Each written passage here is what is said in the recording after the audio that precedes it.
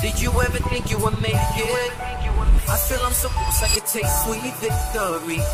I know this life meant for me. Yeah, why would you bet on Goliath when we got Bet David? Valuetainment, giving values contagious. This world of entrepreneurs, we get no value to haters. How they run, homie, look what I become. I'm the, I'm the one. You know, as a amateur in the podcasting game, I'm always impressed by our guests, people like him today, who, when, when there's no stories and you know you can create stories the day before you come on the podcast, mm-hmm. and you fabricate it where, as a former CIA agent, Mike Baker comes in a day before leaked secret Pentagon documents Wow. lift the lid on U.S. spying on Russia's war in Ukraine. Mike is here to talk about his involvement in this, as well as why he's considering moving from Boise, Idaho to San Francisco. Mike, it's great to have you on the podcast. Man, Timing. I, I can't get to San Francisco quick enough. Yeah, yeah. No, I, I- you know what? I thought to myself, we got to have something to talk about. Yeah. So I called up my buddies. I said, "Do you have anything laying around? Any documents at all? Uh, put them, put them out there, preferably on some place where people play Minecraft. Discord, Minecraft. Yeah. Yeah, and uh, otherwise we're all good. So, yeah, I, I can't claim responsibility for that one though. Uh, I- I- it's a- is that crazy or what? I mean, It's what? Yeah, It's it's what? It's, it's it's both crazy and what. Uh, the question is, when you start to pour through the documents, yeah. it is a legitimate question. Is this just a disinformation campaign? Right? Because when you start to look at the at, at the themes of the documents and who does who does it benefit? So while the jury's still out and people are mm-hmm. still assessing the credibility of all of this and whether in fact they are authentic documents, you have to leave open the possibility that this was an FSB or a Russian intel operation to put this material out there. Hmm. Because I mean, they replayed it on one of their, you know, propaganda channels. And so that was a that seemed like it was a fairly orchestrated effort on their part. Not that they wouldn't do it if they saw the advantage, but it, it, I'm just saying there's a chance of that, right? Let me let me, read, let me read the story, and we'll just get right into it, man. I This mean- is phenomenal. And, and by the way, I still we got a lot of stories to cover. That's one of them. We got uh, uh, you know ex CIA chief dubs uh, Putin dead man walking. We'll talk about that. CIA future will be defined by U.S. technology race with China.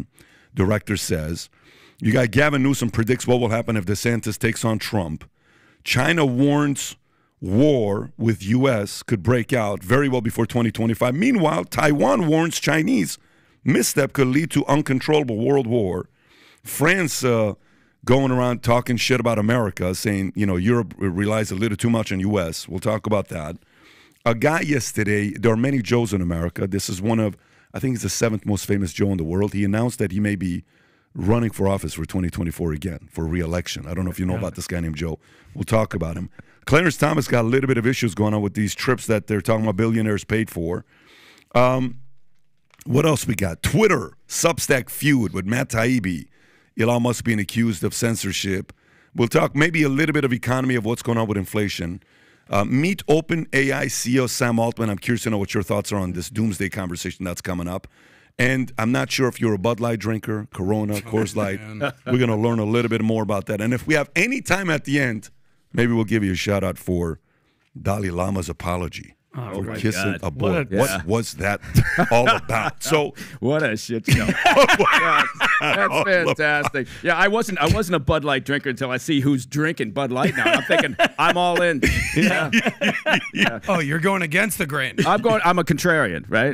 So yeah. Everybody is boycotting Bud Light. You Mike's know what? doubling down on Yeah. it. So, so if, if that's the case, let's just start off with that story. So why don't we do that? So Bud Light, silent on social media after Dylan Mulvaney's uh, uh, controversy. Uh, another story comes out talking about Bud Light suffers bloodbath as longtime lo- uh, and loyal consumers revolt uh, against transgender campaign. Uh, let me read this story. Bud Light has faced backlash. The top selling beer brand in the U.S. has suffered a nationwide backlash from consumers after it hired transgender TikTok star Dylan Mulvaney as its new uh, spokesperson, according to bar owners and beer industry experts around the country. Jeff Fitter, owner of Case and Bucks, a restaurant and sports bar in Barnhart, Missouri, said in Bud Light's effort to be inclusive, they excluded almost everybody else, including their traditional audience. Sales of Anheuser-Busch bottled products have reportedly dropped 30 percent. That is insane over the week. While drought beer plummeted 50%, according to bar owners, 80% of Bud Light drinkers ordered something else this week at Braintree Brewhouse in Massachusetts, a sprawling sports bar just outside of Boston. One pup in Hell's Kitchen, a New York City neighborhood known for its large and vocal gay community, reported that Bud Light draft sales dropped 58% in the gay community, while Bud Light bottle sales were down 70%. So, what, what do you think about this whole thing that's going on with Bud Light? Here's my, favorite part of this story is first of all, I don't, I don't give a shit what Dylan Mulvaney does, right? It doesn't matter. I, I, everybody just do your own thing and, and stay out of my wheelhouse. But uh, the best part of the story is I did watch the VP of marketing uh, for for Bud Light. She came on and she said, "Look, uh, she felt like the brand needed to be more inclusive, and they needed to get away from their frat beer uh, image, right? Because those son of a bitches don't drink beer, No. right? And so uh, she said, she quoted, she actually said, "Female." Representation is a personal passion point of mine, right? So what does she do? She goes out and gets a, a guy with a penis, you know, and, and says, "Hey, I want you to promote my beer," right? Well, Horrible. yeah, I mean it's it's it's just it's bizarre, right? But again, I go back to the same thing. I guess at the end of the day, I don't mind pointing out the stupidity of that. Yeah. But I honestly, on the other side of the coin, I don't give a shit what people do. Yeah. We're also, you know, worked up over. Uh, uh, although I will say this, and I asked the other day, I asked someone who's very smart. I said, and I was genuinely confused. I said, "Is a transgender woman?" is that a, a dude who uh, identifies as a woman or is a transgender man? Uh, I, I couldn't figure out which is which. Yeah, I think So- if, I think if it's you're a transgender male, you want to be a female, correct? Like you you identify as Guys, a the female. fact Or that you're you a woman. The fact that nobody we're- knows is the the problem. That- Nobody well, knows. me and my, we're, we're This both is- in the same boat. I don't know, but but going back to it, uh, it that, this is a, a classic case of uh, get well, go broke or whatever the hell that thing is. And Pat, you were talking about marketing during the Giuliani thing. What a horrible decision! Like. Have you ever, ever, like, this is the worst demographic to go over. Have you ever been around a bunch of gay guys and, like, hey guys, let's just mojitos? And he's like, no, you know what? I'm just going to do a keg stand of a Bud Light. Nobody's, dr- no gay, I've never seen a gay guy holding a can That of is such beer. a good point. By the way, this is this is the girl he was talking about. This is the VP of Yeah, marketing. that's you have to it, listen yeah. to what she says. Watch this here. Yeah, go ahead. I'm, I'm, I had a really clear job to do when I took over Bud Light. Rainbows in the and back. it was this brand is in decline. It's been in decline for a really long time. And if we do not attract young drinkers to come and drink this brand, there will be no future for Bud Light. we So go. I had this super clear mandate. It's like we need mm-hmm. to evolve and Super elevate clear. this incredibly iconic the- brand. anyone and misses that my what I? No, brought of course to that's- that that's their was a belief in okay, what is what do, what does evolve and elevate mean? It means inclusivity. It means shifting the tone. It means having a campaign that's truly inclusive and feels Oh, God, lighter. means and selling more brighter beer to frat boys. Appeals to women That's what it means. to Well, watch what she says. She says the and whole fratty. representation is at sort of the heart of evolution. You've got to see people who reflect you in the work. And we had this hangover. I mean, Bud Yeah. Light had been kind of a brand of fratty, kind of out of touch humor. That made you and billions. It was Yeah. really Got you a important that we had another approach. So I'm a But, but by the way, if you can pause this, here's what's crazy. Can you Google the profile of a beer drinker? Yeah. By the way, her, her kid, those panties in the back, horrible. That kid's not going to be. Hey, hey, painted. she did those things. that was yeah. that was 100 percent her, Mike. yeah. Yeah, When you do the profile of a beer drinker, you know what you realize? 80% of beer drinker are men. Yeah, hundred percent. 20% are women. This is kind of like, you know, working for Trojan Condoms. Yeah. and you're the VP of marketing, and you say, "Well, we're not targeting six-year-olds. You know, we we have to start targeting all the audiences. We're not being inclusive. Or targeting women. No, no, but but the whole the stupidity, the fact that the way she sells it, Yeah. how she's thinking, the whole transgender community. You know, when you go online and you type in what the transgender population is, do you know how many transgender people live in America? Five of one percent. Well, the number says one and a half million, right? But what they're saying, one and a half million, as identify as transgender, it's not really one and a half million. Right. It's a lot of Gen Zs that are confused. The question becomes, Yeah. how many transgenders in America are over 21 years old? Okay. Mm-hmm. Do you know how small of an audience that is? And you're trying to target that Mm-hmm. audience and you go away from your beer drinkers, and now you lose thirty percent in a week. Four billion dollars. She's not. She's not going to be working there. That, much. Like, like, that decision should cost her her job. But you know what'd be funny Oh, though? The commercials, Mike. I, I, I want like the hell with the Dylan Mulvaney commercial. I want to see a commercial like a bunch of gay trans whatever just drinking a mimosa, and they're like, "Hey Timmy, you want one?" He's like, "Bitch," slams it out, and then chugs a beer. That's the commercial Mm-hmm. that they're gonna have to start making commercials for now. I'll- I'll Well, yeah, I, I disagree with. It. I think sh- she's probably going to get a promotion Her? because we're all talking about Bud Light right now. I know the sales are going down, but she she was put there for a particular reason, right? Mm-hmm. And this is her job. Her job is to do this. So she has she has actually uh, done her whatever they are K- KPIs or key performance indicators. Yeah. Um, you know, that's what she was put in place to do. That's the the the beauty of I guess from her position is she probably really isn't being you know judged based on the increase in sales. She's just got this narrow swim lane that she has to stay in, which is are you being inclusive? Are you are you performing this mandate that we brought you in for? And she's probably got some additional tack on there, which is VP marketing in Yeah. inclusivity or something Yeah. along those Yeah, lines. yeah. I'll tell you what. I'm I'm so glad we actually played that video from the VP of marketing because is there somebody that we can kind of point a finger to and say, all right, that's the person? Because picture this. We do this all the time. We have meetings. We say, all right, guys, the, what's on the agenda? We have a marketing issue. We got a content issue. We got to figure this thing out. So you sit down in the boardroom, 10 of us, and we say, all right, guys, we have a problem. Bud Light's been declining in sales. How do we increase sales? And then one person says, we got to go trans, bro. Yeah. We got to go right to the trans market. Yeah. Not getting innovative, your next innovative campaign, not like, okay, cool, identifying who is actually drinking our product. Mm-hmm. it's going to the woke, inclusive, ESG, Oh. bottom line, Oh. which go woke, go broke is a real thing. And then here's another point. You talk about this this whole concept of being inclusive. When you're being inclusive to the point of just sort of virtue signaling, just the point of your being exclusive, you know who you're excluding?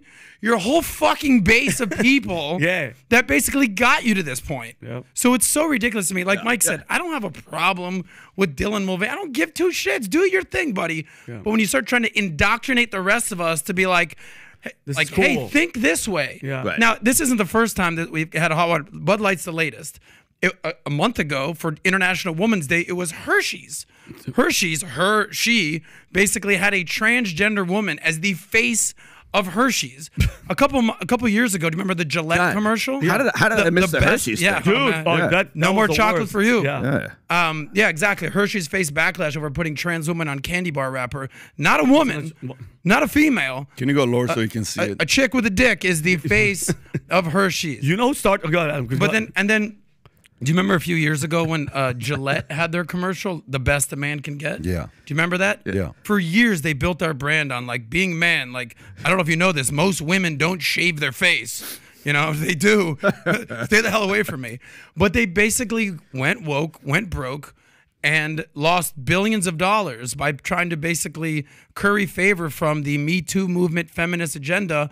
And dudes who shave their face are like, I ain't playing this game, buddy. Like, uh, you, you, Uh, you know, Adam, Adam, as a, as a single guy, Dylan Mulvaney is not at all your type. no, no, no, no. I just just, just But- make sure. I'm old school. Yeah, I we like just vagina. clear I'm that not- up. Let's, let's Yeah. not Yeah. forget who started it. You know who's responsible for all this? The Kardashians. They ruined. Bruce was like, you know what? It was you. Bruce used to be Bruce Jenner. He be, became Caitlyn, and in six months, six months, they named him Woman of the Year. You know what he said though? You know what, What? he said about this yesterday? What? Did you hear what he said? He, she, he- he- she, she. well, he's whatever. not supportive of this. Okay. Right. He may he may he commented yesterday and saying uh, these are domestic terrorists. She, she, she made, she made comments about it. She's Does like, I'm not. Caitlyn yeah, said yeah, this? I'm Yeah. not. I'm not doing this. So she's against what's going on today. I mean, Did well, you see what uh, that's- Kid Rock did, by the way? you see that video? the shooting. The Yes. Yeah. I, I, I try to I try to avoid seeing what Kid Rock does from, from day to day, but but uh, if, before I forget, because I'm getting to that point where if I don't say something right Yeah. away, I forget. Uh, a buddy of mine who's a comic, Jimmy Failla, he he talks about Caitlyn Jenner, and he says, "Look, we all forget he was the fucking goat, right? He was he was yeah, he yeah. was an 72. incredible athlete, right? Yep. And so when he did come out, to your point, yeah, they were all like, "Oh my God, isn't she brave? Yeah. She gets the ESPN award. She gets uh, she's on Woman the of cover the Year. Vanity Fair, or Yeah, whatever." yeah. And then as soon as she started talking, to your point, as soon as Caitlyn Jenner came out and started talking conservative, they were like, "Fuck her." Yeah. Fuck him. Yeah. Fuck him. They, they changed her, it. Whatever. Get, get, get, get him out of here. Get him out But of here but with you his know, balls. but you know what that what, what that means is that whole concept is it's politics over America. I agree. It's ideology over America, Mm-hmm. and that's what's one of the reasons why we're experiencing what we're experiencing right now. And Pat, what, going off of what Mike said earlier, like the decision that the VP and I kind of agreed that that Mike that obviously the internal they're like, yeah, good for you, like doing all this. But Pat, as a CEO, your company gets this backlash and you lose four billion dollars of the company's like uh, worth. What do you do as a CEO? What are you doing when But- that but- happens? when the but V, but you have to realize there's two different things. yeah, This would never happen to a startup got w- that's being ran by a founder. yeah.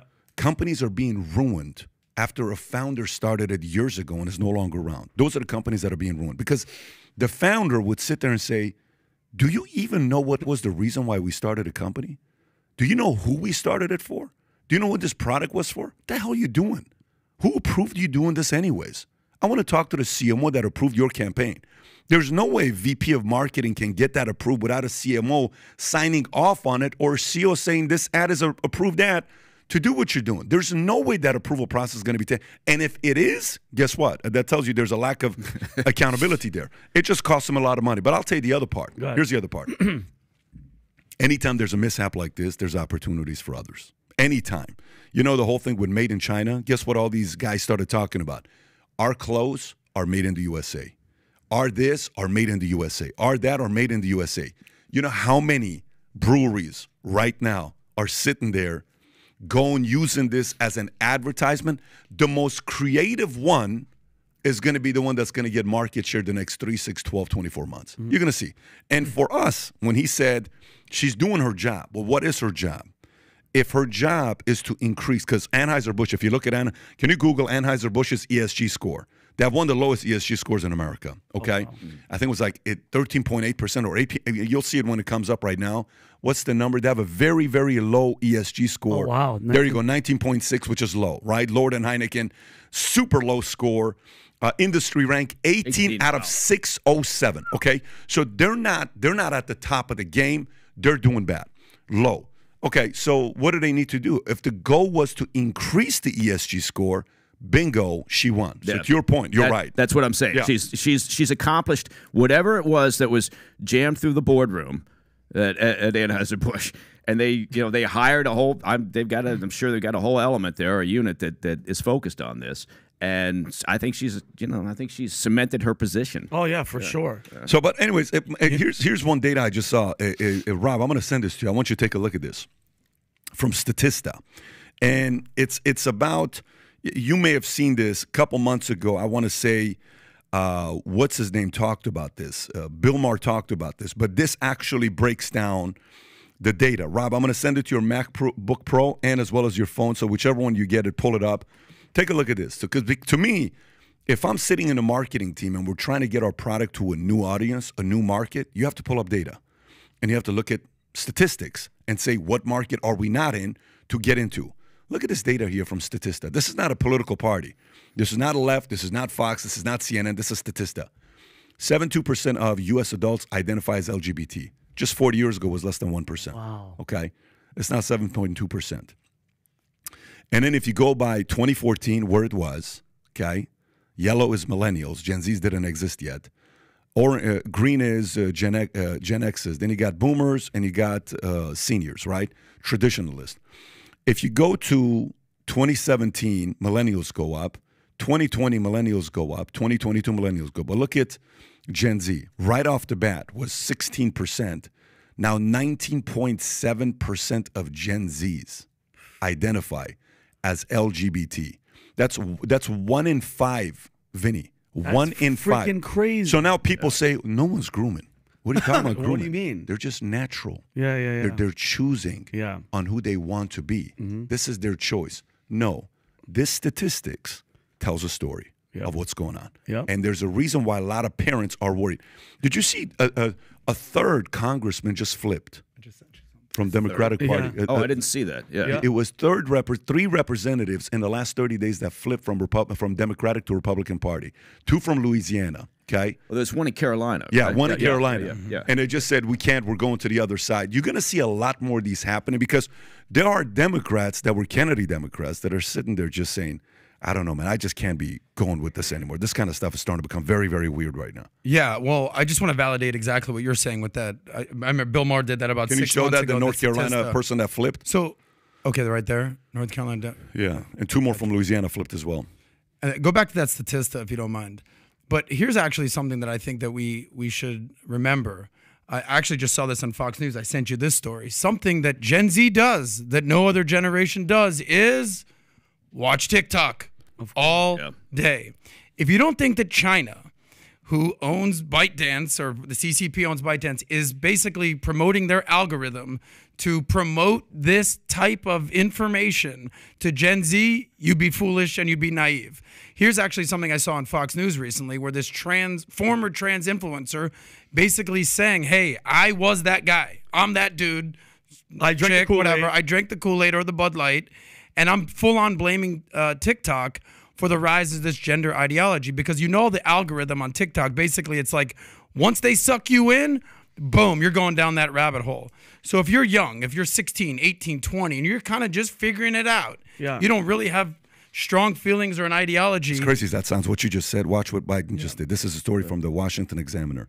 Biden enlists hundreds of social media influencers for upcoming re-election bid. Of course. Joe Biden is enlisting the uh, help of hundreds of social media influencers in his unannounced re-election bid with an emphasis on mobilizing young voters. According to a new report, influencers will be cross-platform such as TikTok, Instagram, and Twitter will praise Biden's accomplishments and agenda to their followers. The influencers are not getting paid, and there are four digital staffers devoted Yeah, to working with them who are officially employees of the White House. Some of the enlisted influencers include 20 year old TikTok creator Harry Sisson, Boston College professor and Twitter users Heather Cox Richardson, and financial TikToker Vivian Tu. What do you think about this trend? Oh God! You know who doesn't want uh, TikTok to be banned nationally? The Biden administration. Obviously. when you read that story and you think to yourself, okay, are they going to ban TikTok? Uh, probably not, given that we've got the 2024 election coming up. And you know, I, I give the Democrats credit because they are much better at messaging. They're much better at understanding the dynamics of communicating, right? And the Republicans, you know, they couldn't organize panic in a doob submarine, right? I mean, they, they're really they, they they need to, to pay attention to what the Dems are doing because they they are effective. You can agree or disagree with how they go about it. And frankly, the other point, and then I'll shut up, is that is that ByteDance in China, completely different animal. Oh, yeah. Right? There is no way in hell that 99% of the crap on TikTok would ever make its way onto ByteDance. They won't allow it, right? And there's a reason for that. Is because they look at it and go, "This shit's degenerative." So anyway, that's No, Mike no, Yeah. I, I agree with you. So, Mike, what do you think? And going off Adam's point, what do you think? A, obviously, Biden them like it because of the reach that it gets to these young people. Mm-hmm. But what is what is China? Because I don't trust China at all. I don't give a shit. Every time I talk shit, people are like, "Oh, you're racist." No, I'm not racist against the Chinese. I'm I hate the Chinese government how they treat their people. Do you think that China's just trying to make our youth soft? Just in case, I'm just going for for militarily. If you have to attack or whatever, as long as the men are soft, you can take over or like a revolution from. Yeah, the sure. I think absolutely. They look at they look at this as a as a as a uh, essentially a, a, cold war on many different fronts, right? Mm-hmm. So they're out there hoovering up economic information, right? They're gathering all. They've been doing that for decades, very aggressively, Mm-hmm. and they're busy building up their military, and they're also understanding the impact of technology, and they've been looking at this. I mean, it's the same. You know, it's uh, Russian disinformation, whatever it may be.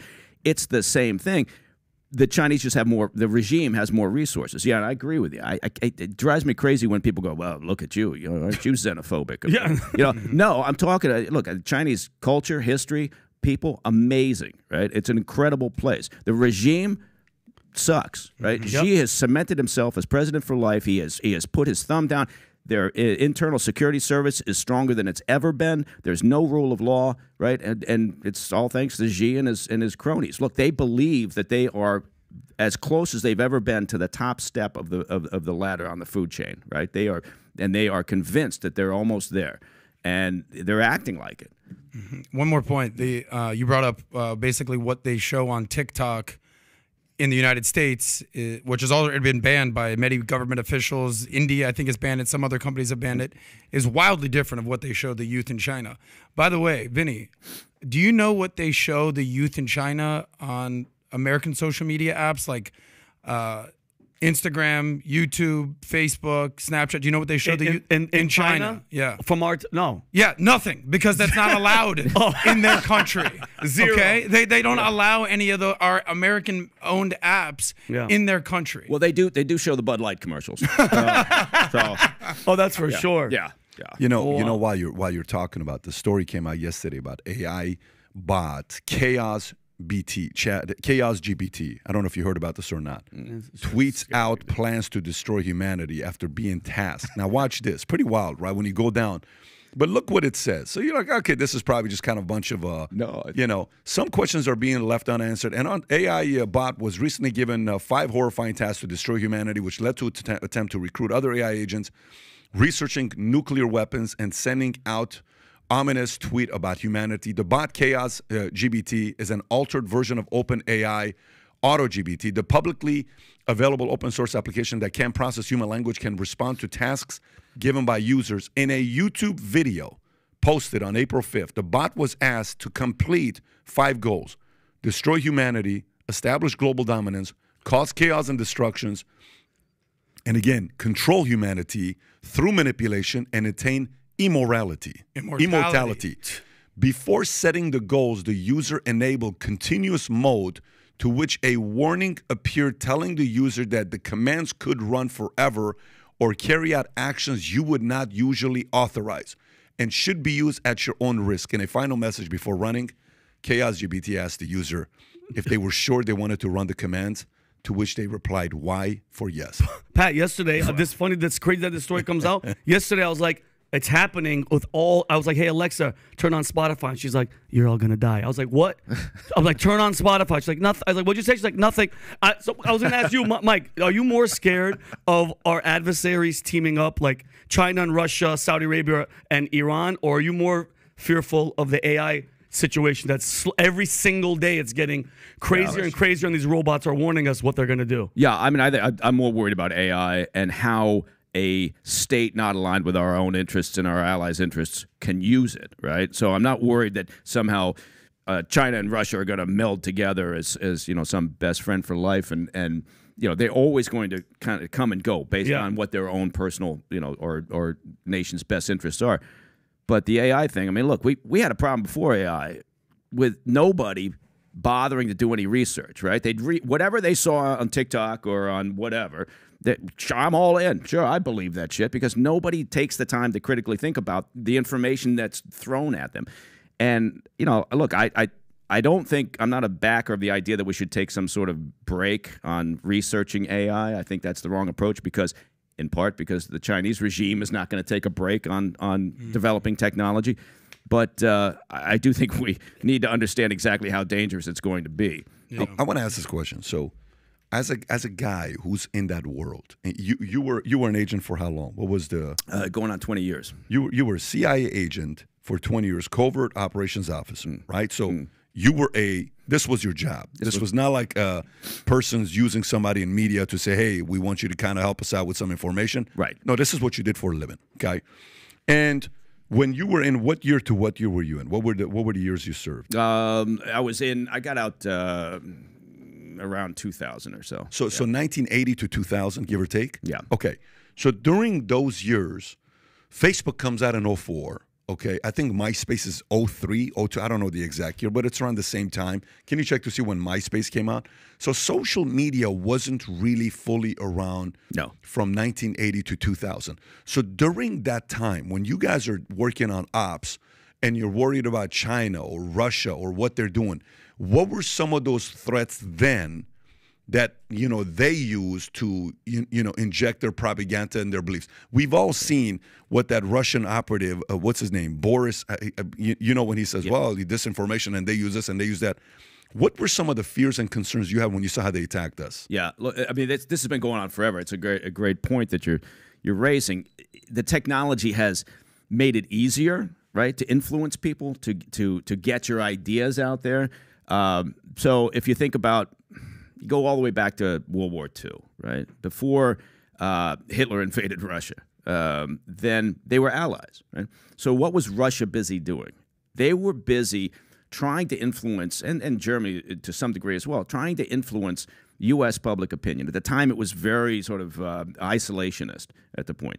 So the the Russian agents were here. They were influencing trade unions. They were buying journalists, right, to print articles. They were setting up fake associations, right, that would it, push isolationism.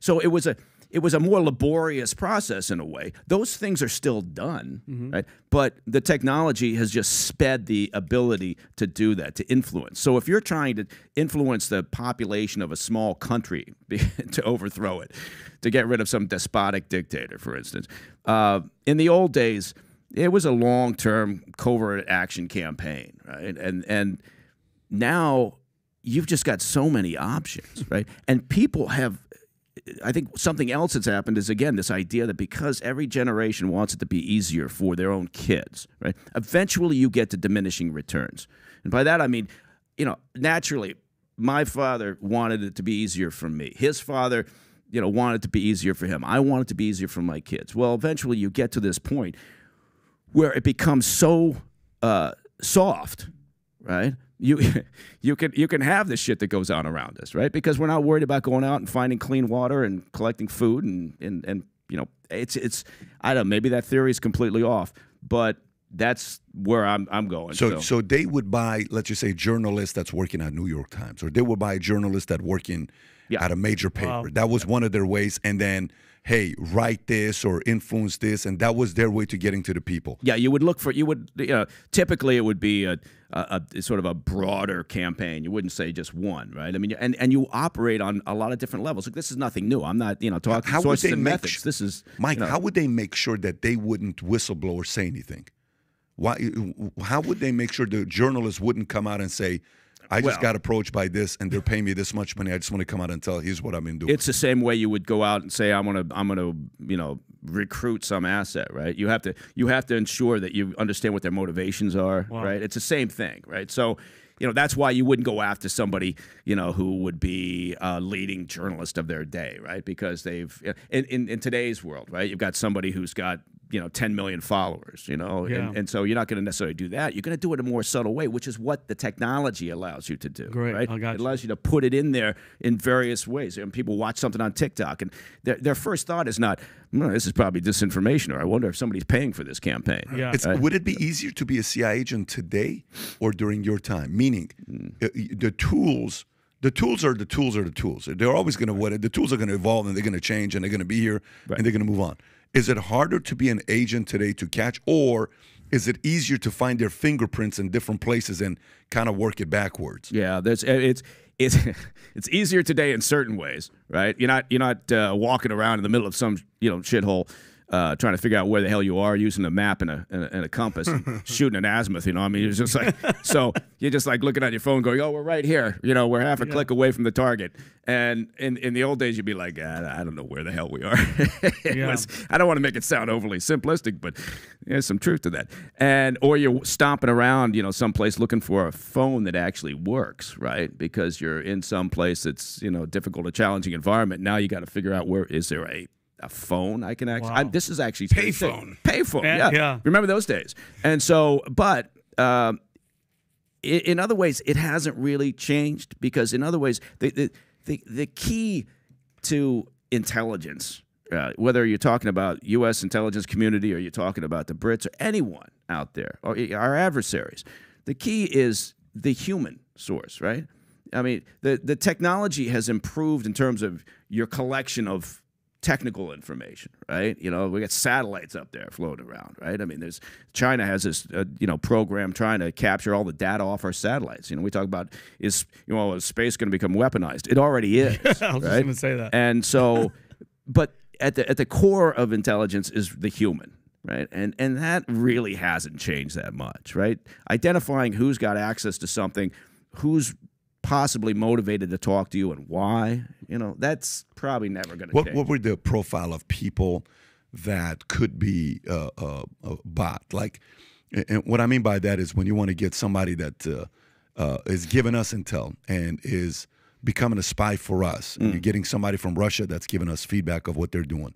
What profile would you look at to see this guy could be a good asset for us? Yeah, yeah. I, I mean, I would argue that in places like China or places like Russia, it's it, it can be easier because you've got more opportunity, right? They're living in a in a in in a you know it's you've got more avenues of attack, right? In a place like the U.S. where you know you still have you still have your traders. Unfortunately, people like James Nicholson and Edley Hanssen and and or uh, sorry uh, Hanssen and Edley Howard and and uh, Right. Aldrich Ames and all these guys.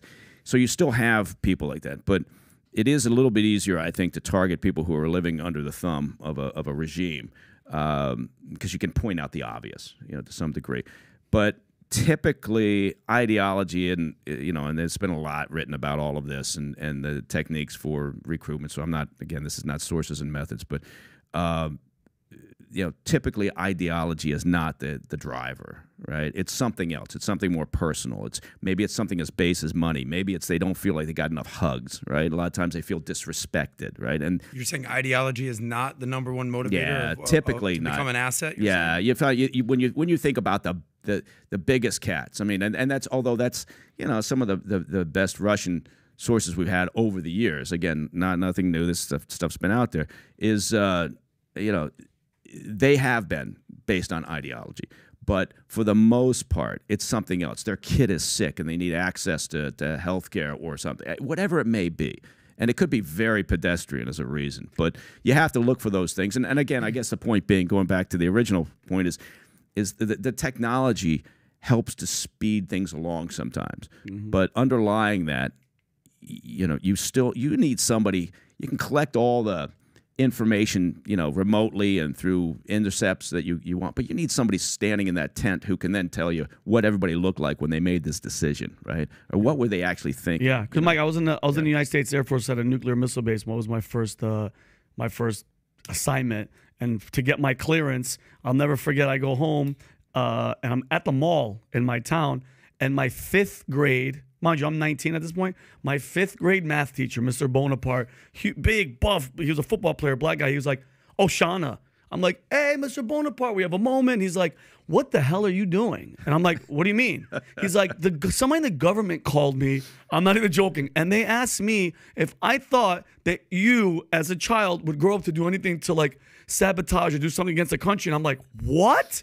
He's like, yeah. He's like, good luck, whatever the hell you're doing. He's like, get, he's like, get, I'm not, I can't make this up. And I was like, whoa, that's This is part of the vetting process That's- for the Air well, Force. well, wanna That's, make sure that's who are. normal, though. So yeah, it's That's normal. But, normal. but, but Mike, going, going to my point, you're talking about technology. So like when you have like, it- it's easier. I, I, I'm guessing for their like digital profile, like a Mark Zuckerberg with Facebook, that must have been the CIA and the government's just like, oh my God, people have been fighting to keep this information. Now you're just giving it because it's cool Yeah. to do. That helps. Yeah, right? well, it does. Oh, I mean, look, you know, I run a company that, that you know, private sector business that does intelligence and investigations and due diligence, and the amount of information that's available out there on the average citizen, not not just here in the U.S., but around the world for the most part, uh, is astonishing compared to 20 years ago, you know, 30 years ago for for sure. But uh, it's it, you know, it's again, it's that uniquely American mindset, which is it's the government I got to worry about. No, it's not.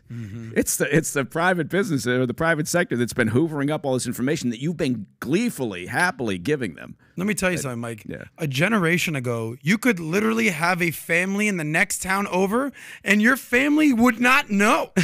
Okay? now, if you look at another girl's story on Instagram, your sleuth CIA girlfriend will find you in less than 24 hours. Are you That's speak- the sign of the times. Sounds like I- you're speaking from experience. I'm 100% not speaking from experience. I love you, baby.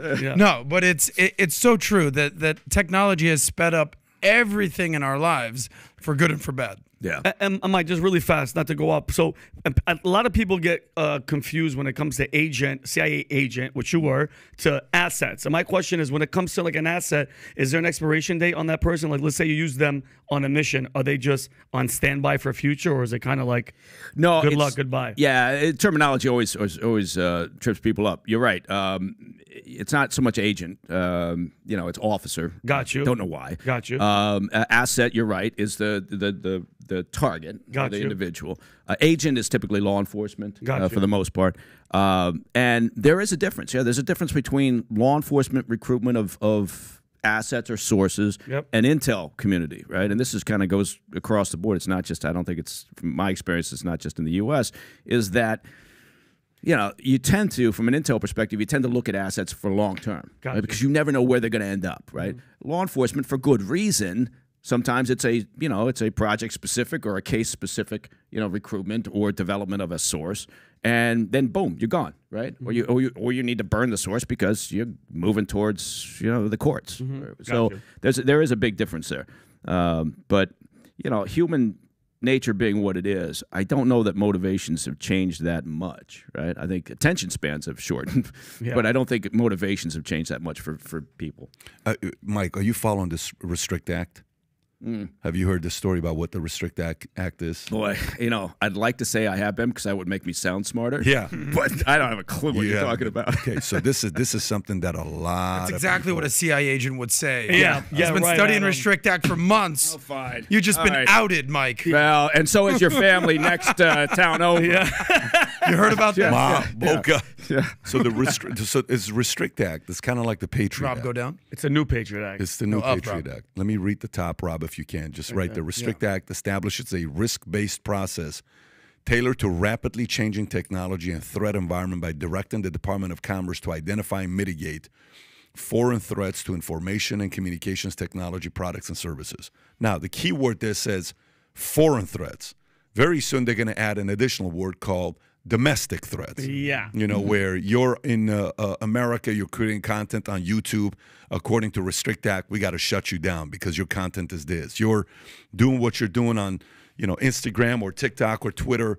So, you, you- know, th- th- we talked about this with Giuliani to see what his thoughts were because for me, I asked him a question. I said, as much as the RICO Act did good and you were able to catch all the bad guys, that kind of also set the tone for us to come up with the Patriot Act and the next act and the next act, which means more and more and more Yeah. Of Big Brother or somebody, you know, watching over what we're doing. Why should this be something people should be concerned about?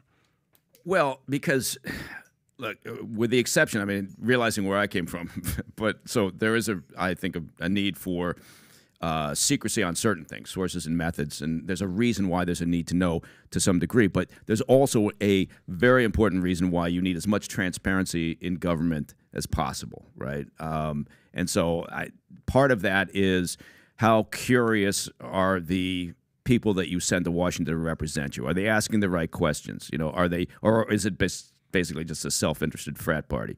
Uh, or actually, I- well, that's sexist of me to say that, isn't it? Uh, But they would have Bud Light, though. That's they would have fun, they would have Bud Light. It's going to be all right.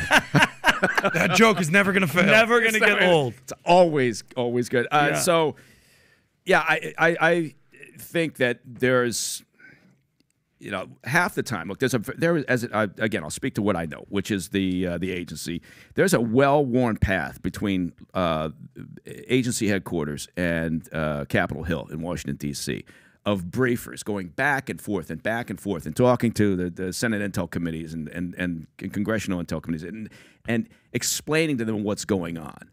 And then there's this game that gets played in Washington where when something breaks and it looks like, you know, the, the, intel community was engaged in something that people didn't know about or oversight didn't know about, it's horse shit. Of course they knew about it, right? They just, but there's a game that gets played where they can go out in front of the cameras and express angst and, and anger over, "Oh, I can't believe this is going on. I'm going to get to the bottom of this. We're going to start an investigation. Of course, no investigation ever results in anything in Washington, D.C.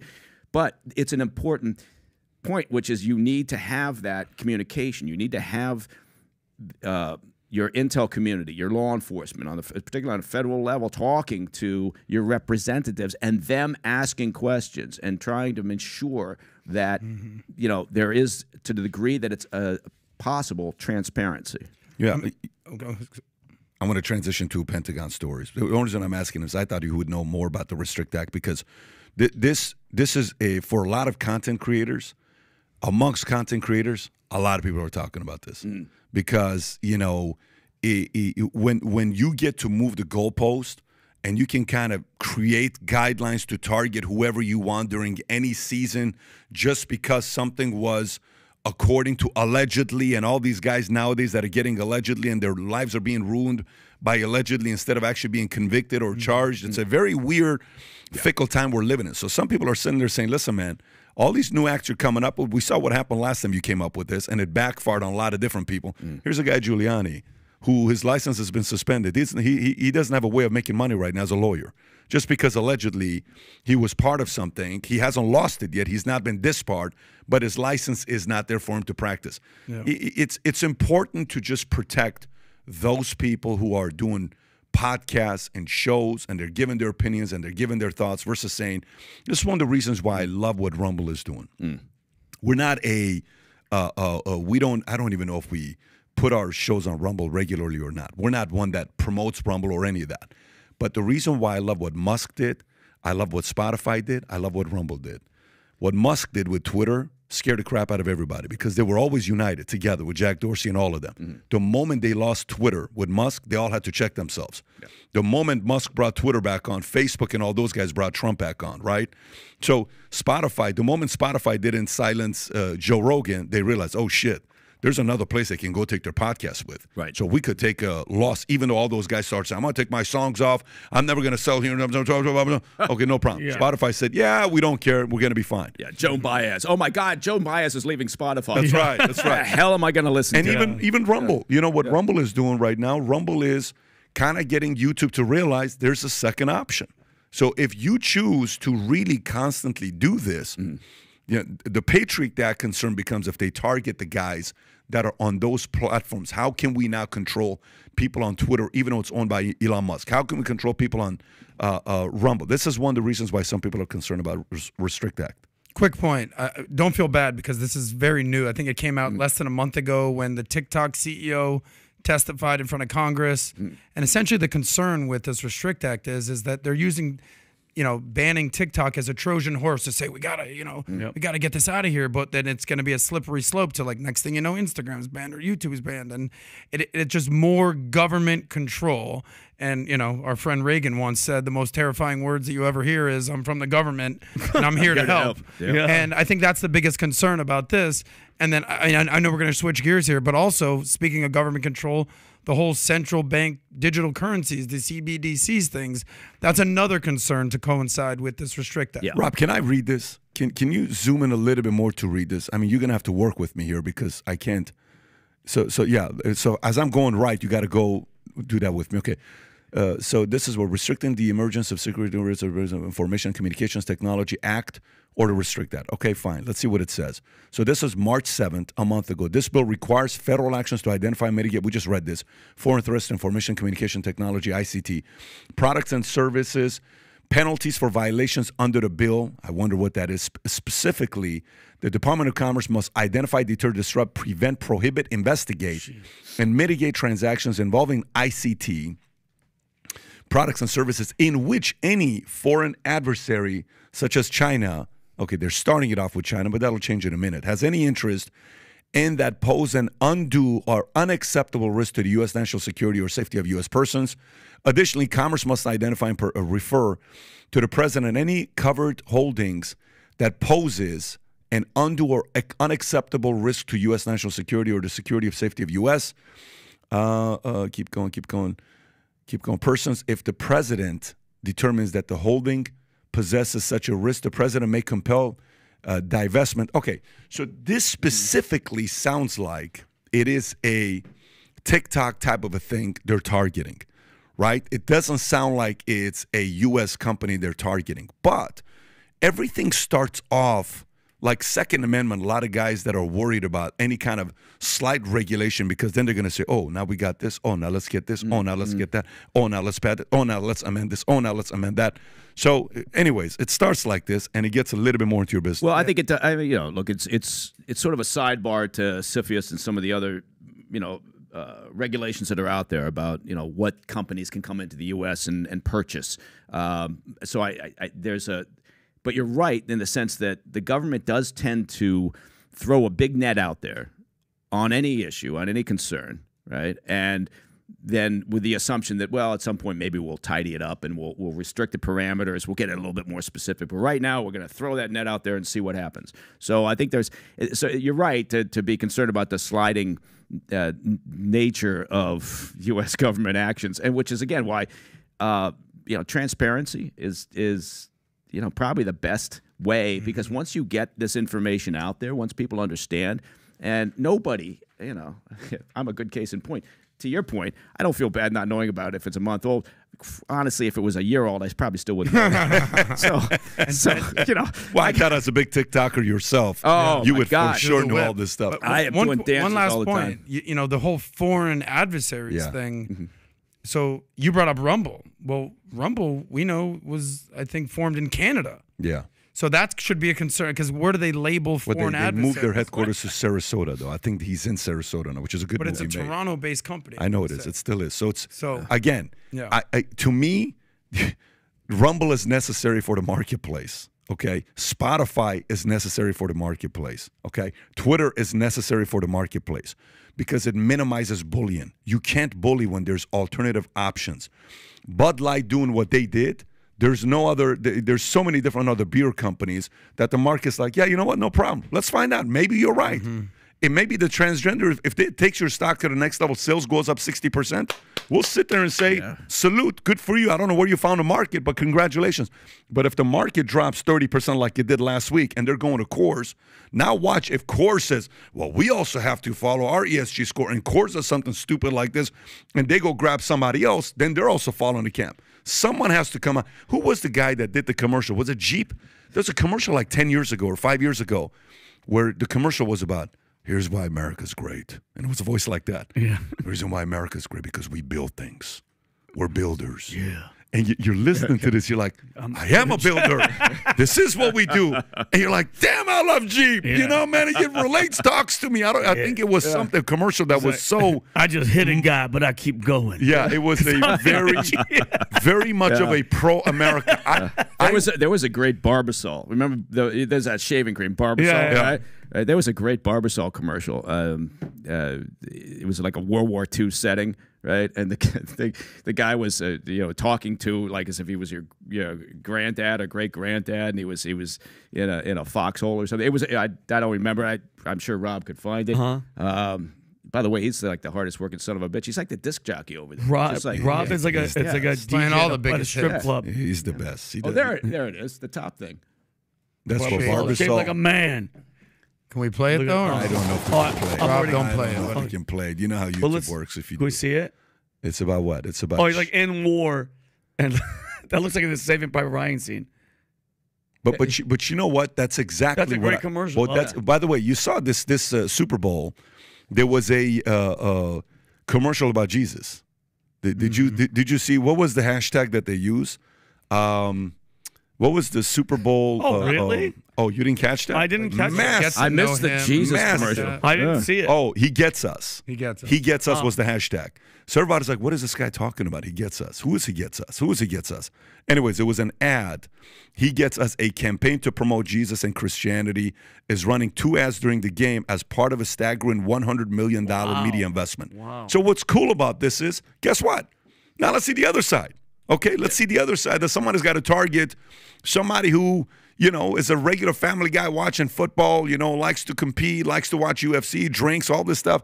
Hey, give us a commercial there, see what happens, right? Yeah. Can we relate to something like that? It's going to be interesting if they allow competition to happen. Let's go into the leaked Pentagon uh, secret documents lifting uh, the lid on U.S. spying on Russia's war in Ukraine. This is an NBC News story, and then I'll give the WSJ story as well.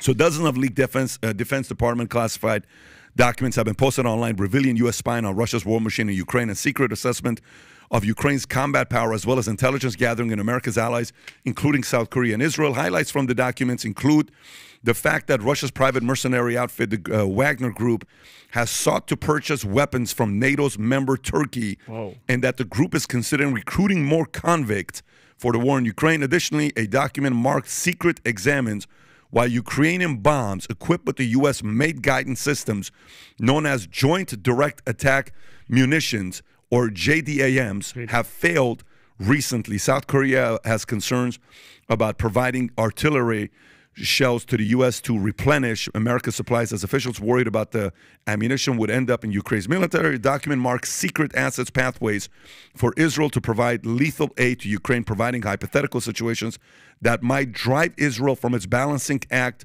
between Kiev and Moscow. The leadership of Israel's Mossad Foreign Intelligence Service encourages staff to take part in anti government protests that have swept Israel, according to one document. What are your mm. thoughts on the story?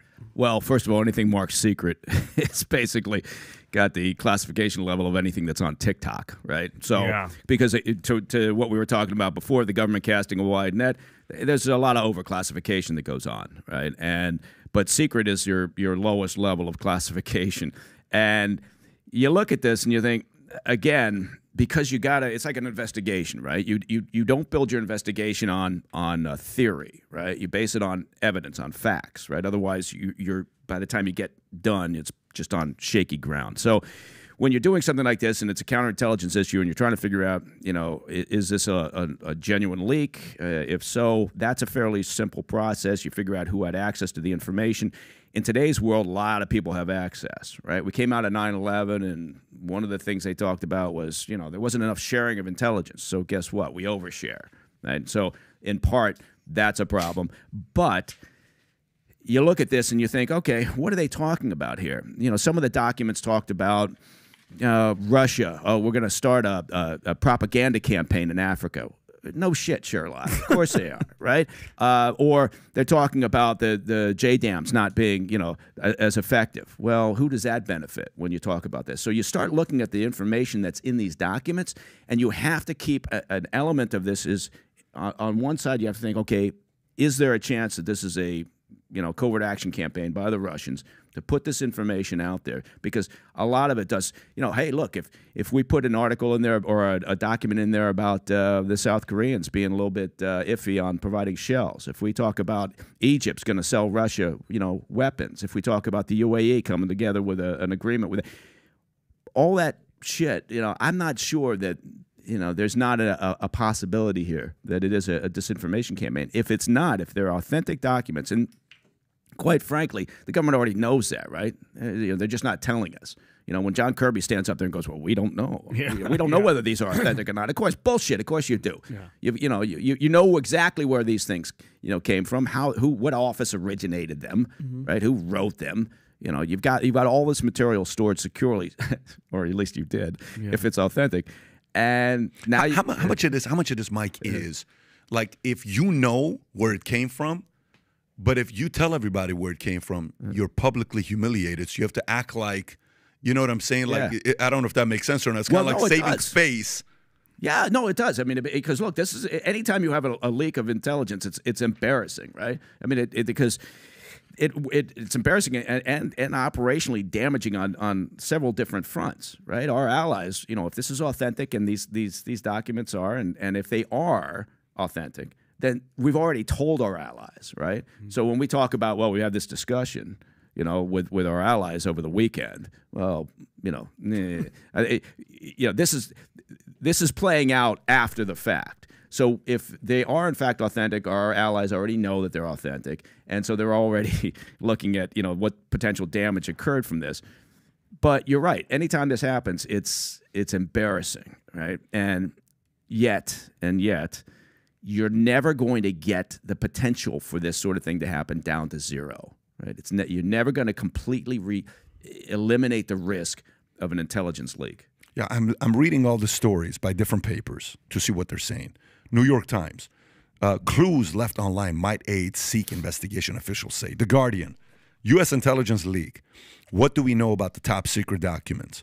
Moscow Times, five things the leaked Pentagon documents reveal about Russia's army. CNN, leaked Pentagon documents lingered on social media despite uh, uh, urgent national security concerns.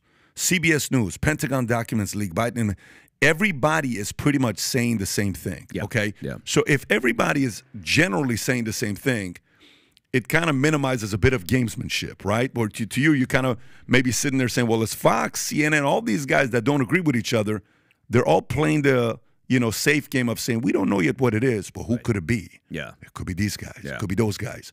And the allegations, everyone makes their own allegations, but nobody know where it's really coming from. You've got it like it's like every decision tree, right? No matter what you're talking about, there's not that many branches on it. These are either authentic or they're not. And if they're not, it's a disinformation campaign. So who the hell would have done it? Well, you know, that's another decision. You know, it would probably be the Russians. But you have to make that you know that uh, that decision very quickly in a counterintelligence investigation. And my point being is that they already know, of course. So they're just you know they're not telling us. I got a question for you, Mike. Yeah. So apparently, this these documents were sitting on Discord for like a month, and then it ended up somehow in a Minecraft computer game. That's something out of like Fantasyland. Yeah. But when I hear of leaks and this type of stuff, automatically I go to you know Edward Snowden, WikiLeaks, Julian Assange. You know this person right here. They don't know who it is. If it is a person or if it's some sort of agency disinformation campaign, is this leaker? Uh, is he going to be considered a traitor?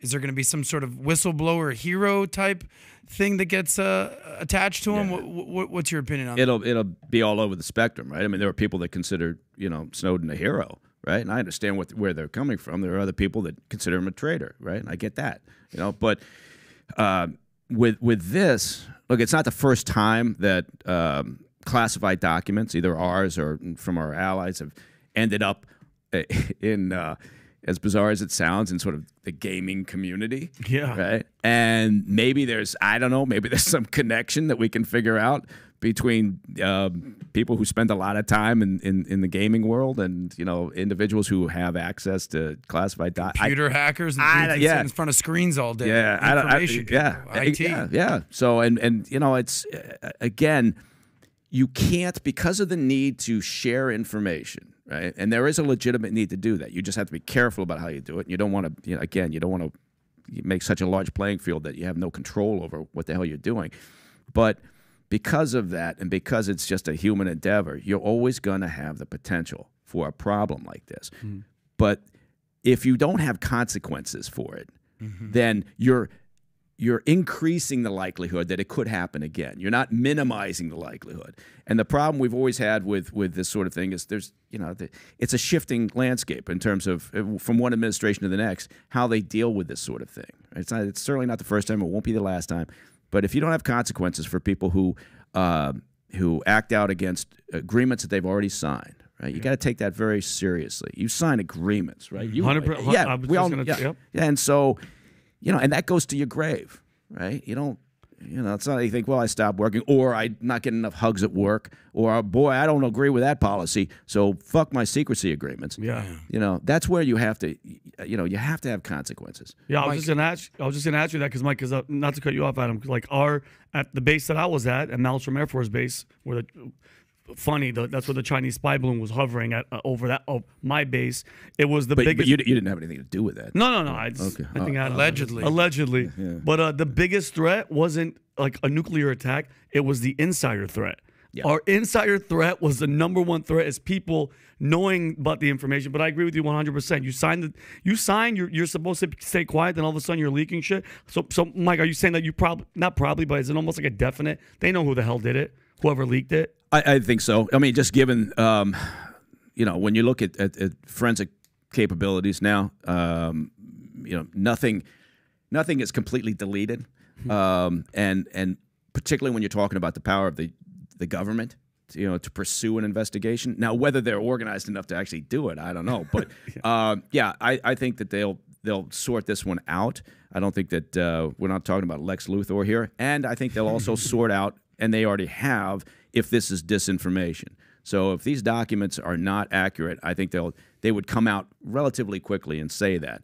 But if there's an investigation into individuals who have been responsible for this and they're authentic, it'll probably take a little bit longer for them to talk. The the my, my, my last question on this is, um, you know, I feel like all country spy, government spy, and and this is you know talking about you know whether it's the you know, CIA, it's MI6, whether it's the Mossad, whether it's the what uh, GRU in Russia, KGB. Um, India, Pakistan, France, they, they all, every country spies. And I don't think it's that concerning that we're spying on Russia.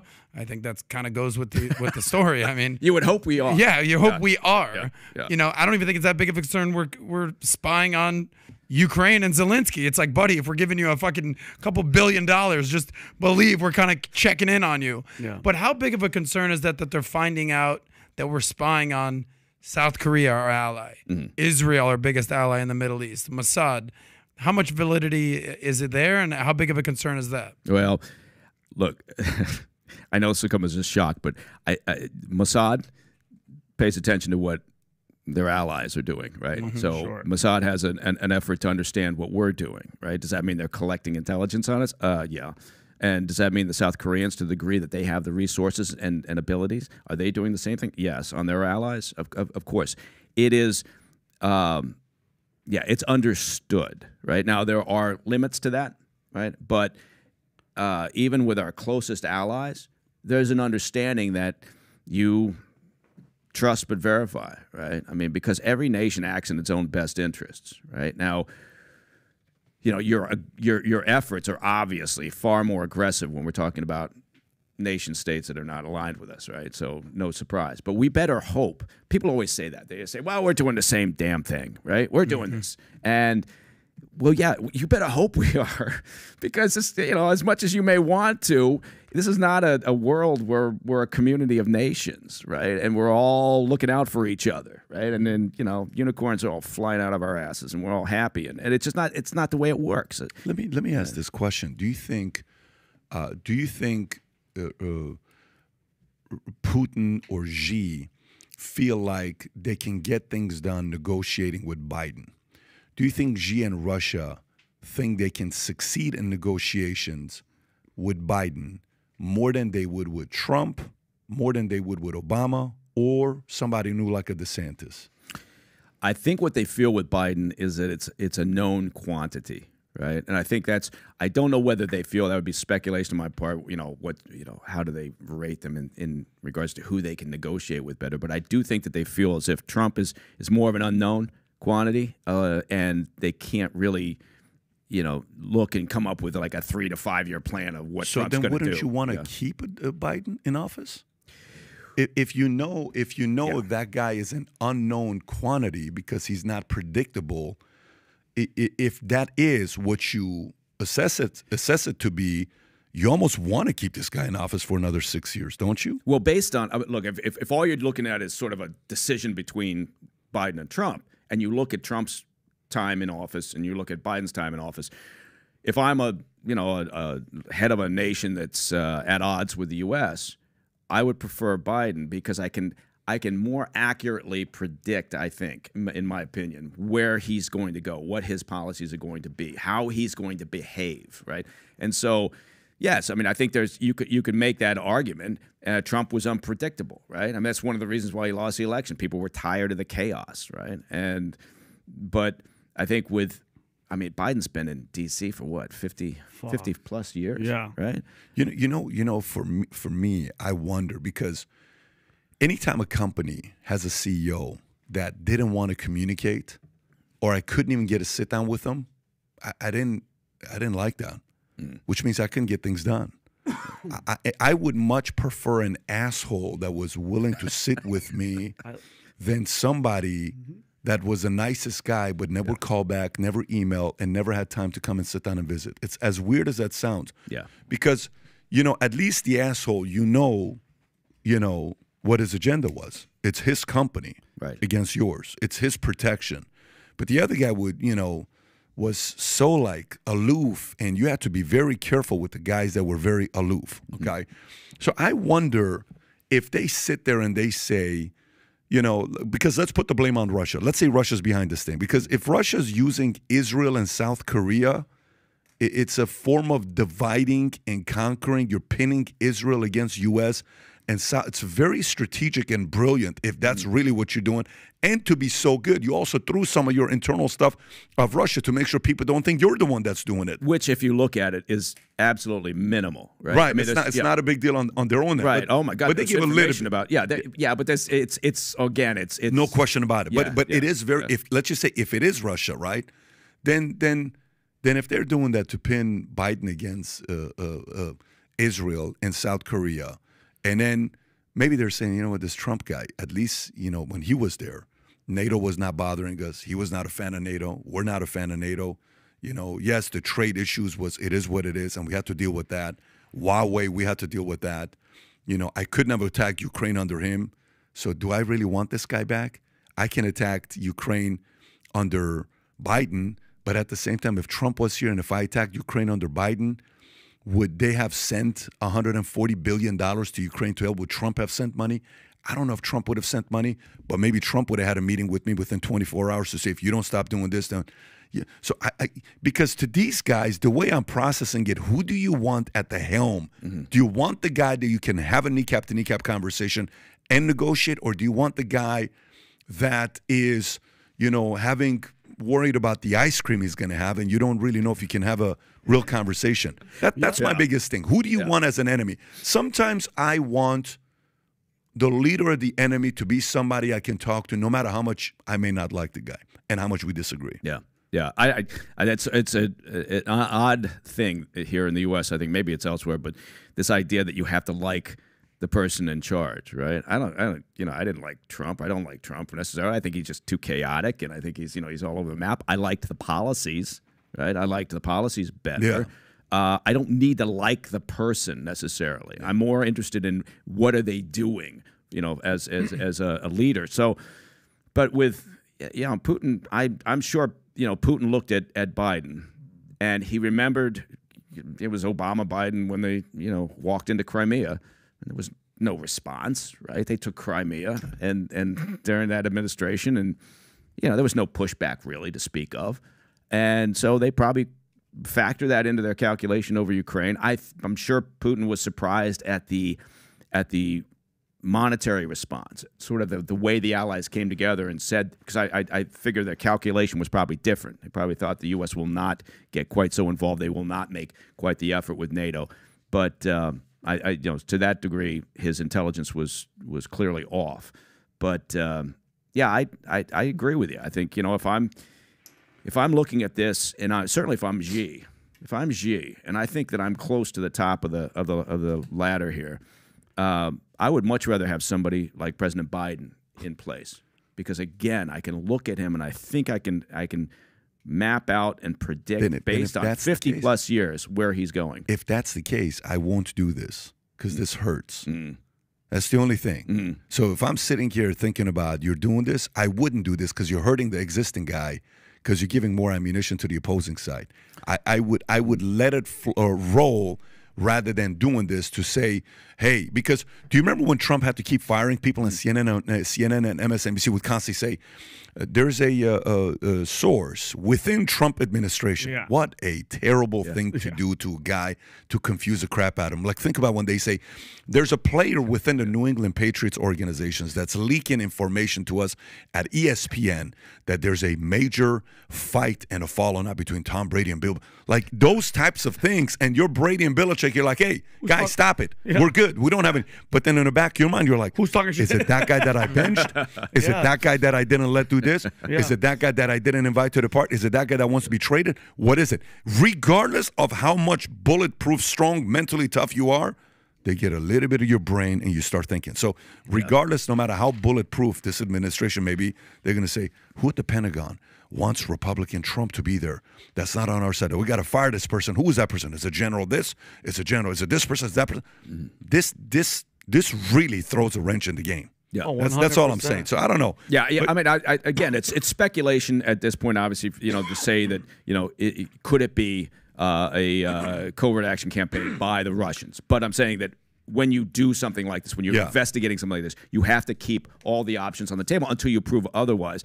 And you know, that's it's. And again, I, I would argue that they they already know. If they don't already know what's going on with this, then that is really disappointing. Yeah, if if you're doing it at the KGB level of Putin, trust me, Putin's got like a board of. I would assume he's got a board of everybody who to poke to piss off with who and create a proxy here to unify here, so we can become the good guy and call these guys and do a favor for that guy so he can connect us with this guy and get in front of. I mean, I'm assuming that's how these rooms, these conversations are going to be had. So Yeah, yeah. when it's election time, you got eight more months left, nine more months left before we decide who the Republican candidate's going to be. So DeSantis, Trump, you know, who do you want to be the head? Uh, if you are really meddling in elections, I would be really more thought out of who I'd want to eliminate to create the enemy against. Yeah. I don't know. Yeah. So Yeah. let- Let me just. I want to ask one. I want to go question. into another story. You make your point, and I I want to go into. I want to go full conspiracy mode right now, Oh, just for we a go. second. Go Adam. There we In the last month, Go Adam. I'm going into Vinny territory Let's right go. now. Let's go. C- The last month, the Chinese spy balloons. A couple weeks after that, Putin uh, hosts Xi in Moscow. Mm. Those two are having conversations. Putin's having a love affair with Xi, waving by like a schoolgirl. Bye. Love you. What kind of conversations do you think those two guys are having behind closed doors about America? How are we going to make America weak? We're going to kill you know, they're they're he, they're they're completely together at this point. Any, everything that's happening in Ukraine has basically, you know, thrown Putin right into Xi's arms. He basically said he was kind of jealous of the success China has had over the last few decades and wishes that type of success for Russia. What kind of conversations are happening behind closed doors, and how much plotting against America is uh, in those conversations? Yeah. Well, look, I mean, the dynamic there is definitely that that China's in the driver's seat. You know, Putin's in sort of the supplicant position here, um, and and that relationship uh, only goes so far. Even though they said there's no limits to our friendship. Well, bullshit. Of course they are. You know, as soon as Xi decides it's not in their best interests, you know, to to push this dynamic, but you know, Xi's working to try to position China as uh, the peacemaker around the globe, right? He's trying to increase sort of his diplomatic standing, as it were, I guess, and and at the same time, he's you know he's rattling his saber over there at Taiwan. That's a delicate balance between those two things. Uh, but with yeah, I mean, Putin absolutely needs China on side. He's got almost nothing else, right? And the Iranians are selling them drones, and you know he's, you know, at Belarus. God, I got Belarus on my side. Uh, but eh, ultimately, you know, what's China gaining? They're gaining cheap energy, right? They're watching as both Russia and America, you know, uh, empty their warehouses of military hardware. Yep. So there's a lot, you know, to, to be gained from China's perspective in all of this, and Russia is in a position where it needs to, you know, it needs to kind of do this. It Right. And to- speaking of perspective, by the way, you know, you just brought up the Taiwan thing. So it's the same. It's very similar. It's analogous to exactly what's happening. So Russia invades Ukraine. Mm-hmm. What was the response from America? What was the response from the rest of the world? The response from the EU. Okay, now China invades Taiwan. What's the response going to be? We've seen this play out almost like war games. Those types of conversations must be taking place. Mike, well. Mike, do you think any of this be? Um, and I want to be completely honest because I know you said Trump chaotic, and I I understand where the chaos came from because as he came in, fake Russia, all that, I'd be pissed off too. If I was him, I'd I'd have a huge huge chip on my shoulder. I'd be upset with the media and everything too. Do you think all the, our economy, recession, inflation, our dollars going bye bye, militarily, where people are Af- Afghanistan withdrawal and all that?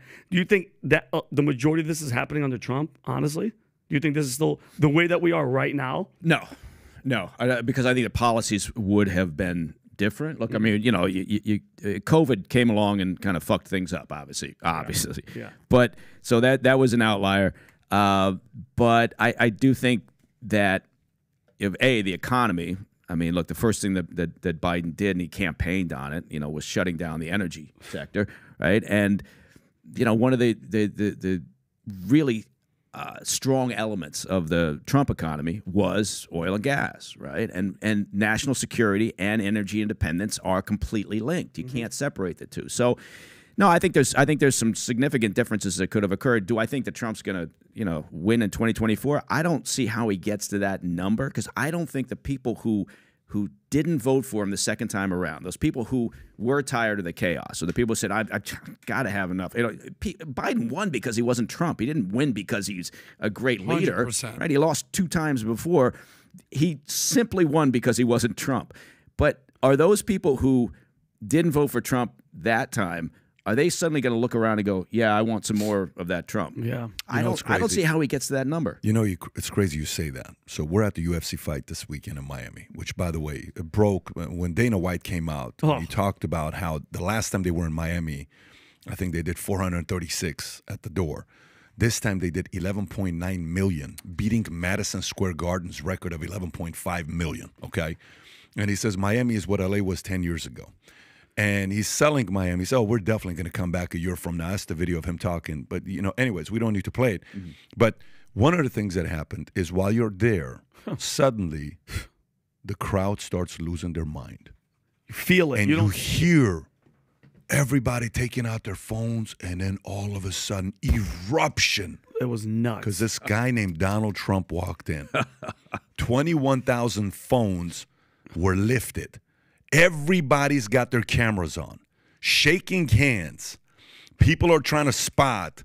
Is that Mel Gibson that just shook his hand? Yeah. That's Mike Tyson sitting next to him. Of course, Dana White, and you know, he always speaks Yeah. very highly of him because of how Trump helped him out at the beginning. And you know, Masvidal gives a speech. The, literally, the place is going crazy. We're right back there, by the We're way, in that there, video. in that- so that- the yeah. place is going absolutely bonkers, right? Masvidal then starts fighting Burns. In the middle of the fight, camera goes on him. No one's watching the fight. Nobody cares anymore. Everybody. So so so the the part becomes now. Here's here's what the the conversation becomes. Either hundred percent of UFC viewers are Republicans, o- or this guy has an energy about himself when he walks and that he's able to convert and magnetic energy. I even looked at Adam for a second, and Adam was in tears. Adam was. Adam, wait, Adam, Adam, do you know what? Pat, Adam was. Can you know- tell the truth? Pat, you know what Adam said? But, but You know by what- the way, if you want me to tell the truth, I'll tell the truth. Tell the truth. I'll, yeah, I'll, I'll, Adam says, "I'm not gonna lie to you. You know how I feel about Trump. I just went from here to here. Yes, I This was cool. a God. very weird feeling, right? It was Oh, actually wow. cool but, shit. But, but you know, but you know what? You know, It was. It was great. But but, but here, here here's the part as well. The one thing about politics, we had uh, uh, uh, is it Ari Fleischer? Ari is that Fleischer, George yes. Bush's? Yeah, Ari Ari, was yes. here, Yeah. and I said, "Why get into the game of politics? Like, why why get into this?" Like, he says, "Are you kidding me?" And he says, "Unlike sports, where there's a leaders bulletin, and you know if that guy scored a touchdown or did this or did that." Politics, there is no leaders bulletin. Is who can sell their argument and their ideas better. Wow. It's the greatest competition. And he sold it in a way that I bet a few thousand kids that watch it, 20 year old guys are watching saying, I'm going to get into politics. He sold the industry so well. Wow. So Don't none- do it, kids. Don't do it. So the point is, none of us have a clue what the hell we're talking about mm. when it comes down to who's going to win, who's not. Yeah. You know, the reality of what happened with well, the, Biden won because they just didn't want Trump, right? You know, all those votes. Okay, fine, no problem. Well, now you got what you wanted. How happy are you now? Okay, when you have a, a what's Sarah Well, but- Foster? is that her name? Girl name? Girl's name is Sarah Foster. Is that the actress's name? Did you hear what, what happened in San Francisco with this whole uh, uh, the Cash David App guy? Foster's no, no, no, daughter. daughter. Yeah, yeah. What's her daughter's name? No, because Bob. Like, Go ahead. You were going to make your point before I played this for you. Well, I was going to say, you know, you, you get what you get. I mean, look, Chicago's a perfect example of that, right? They got rid of Lori Lightfoot, and what did they bring in? Someone harder Marxist. left, right? So I don't know how how do you explain that one? You know, if you can go on Twitter, Rob, if you can go on Twitter. So just recently, this this lady, I want everybody to go send a tweet at this lady because apparently she just got off of Twitter. Just go to my account right there. Go right there. That's exactly the one I want you to do. So before you play the video, pause it before you play the video. Here's a lady, okay, zoom in a little bit so they can see it. Her name is Hillary Ronen. Just so you know what she does, she sits on the board. I think it's District 9. If you can go on Google and Google her who she is, Hillary Ronen, uh, two L's, Hillary Ronen, N E N, uh, Hillary Ronen, N E N. There you go. Hillary Ronen, zoom in so we can see who she is. And I watch, this is such an interesting thing. Hillary Ronen is an American politician, attorney, serving as a member of the San Francisco Board. Yeah, there you go, District 9, which includes the neighborhoods of Mission District, Bernal Heights, and Portola. Okay, and if you go a little lower so we know who she is, Democratic Party. Uh, you- she went to Berkeley, University of California, University of San Francisco. Blah, blah, blah. Okay, great. Now go back to the tweet. So this lady here in 2000, and let me even send you the tweet because a lot of people haven't seen the tweet. This is a tweet she sends out. I don't know if I send it to you, Rob. If you have it, please show the tweet. I think I send that to you as well. It's this one right here. If you can just pull up the tweet, because a lot of times you see an image of a tweet and then the person goes back and deletes it. You can't find it. Well, luckily, I found the tweet and she's left it up. So just kind of pull it up. Great. Uh, if you send it to yourself by Hillary Ronen, the date of her tweet is let me see what the date is. She sent this in 2020. Uh, to be exact on the date, August 16th, 2020. Do you have it? I texted to you, Rob. Yeah, I, te- I I texted to you. You should have the text that I sent to you. Uh, I just I just put a thumbs up on it, Rob. If you can just pull that up, just put do copy paste and, And pull Pat, it she's up. still she's still in San Francisco. Oh, you got- you got to see this thing here. You got to see this thing here. What she says, uh, uh, Rob. If you're, uh, let's see if you got it or not. and Because she's you- still Pat. She's still in. Dude, you have to see what this woman says, and she's still in charge. Oh, Here's she's a still in tweet. charge, okay. So in 2020, this is her tweet. I want to make it clear that I strongly, I believe strongly in defunding the police and reducing the number of officers on our force. For decades, we've had an imbalance in our city's budget with hundreds of millions of dollars going to San Francisco PD to have them do work they are not qualified to do. Okay. Look at the date. Okay. August 16, 2020. okay, bookmark that. By the way, they lowered the budget by 120 million dollars. The mayor during that time. okay. So now go back to the tweet and watch her video of what she says. Go to the video of what she says. You just had the tweet up. Here we okay, go. play the clip. This is her? Watch this. We've been begging for more footbeats and for more officers in the mission Oh, yeah. district. I've weeks been ago. begging this department to give the mission what it deserves Oh, in terms of police presence all year long. And I have been told oh. time and time and time and time again there are no officers Cry, come that on. we can send to mission. Cry. It hurts, and I feel betrayed Oh no, Hillary. by the department. I feel betrayed by the mayor. I feel betrayed by the priorities of the city. It is not this board of supervisors' priorities. We want our residents safe. Her name's uh, Hillary. We Her don't name's want Hillary. our by the residents finish. getting Let her finish. shot, getting assaulted, getting killed because in the mission, chief, it's not theft. In the mission, people are getting shot and killed. In the mission, people are getting beat up. In the mission, people are dying. No no shit, Sherlock. Oh, no. Go on Twitter. go on Twitter and look at her last tweet. Go go just go to her account right there and look at her last tweet. Okay, zoom in. Her last tweet 23 a peace out Twitter. Time is precious. Yeah. We'll be using time I spend on this forum having direct productive conversations with the people of San Francisco. Hmm. Good luck to you, lady. Yeah. So th- this is the part where Yeah. you know, you know, as sad as it is, because a guy who created a great company that's created thousands of jobs, who moved to Miami because he didn't feel safe in the middle of the night, gets stabbed. A week after this, a week and a half after, whatever, two weeks after this comment she makes, and she's the same person. So now, why don't you come out and apologize about your original uh, policies? Never. Uh, about the fact that you felt about defunding the police. Now you want to talk about. I feel that they're not wanting to protect the city. Sarah Foster's an actress Yeah, I love that you found anybody who anybody who makes it on Vanity Fair, you're like left of left. You're part of the camp. 100%. You're qualified. She slams San Francisco for being a shithole. Weird. so go go to the bottom to read the entire quote of what she said. Right there. I have no words. Right there at the bottom. Go a little lower. Little. I have no words.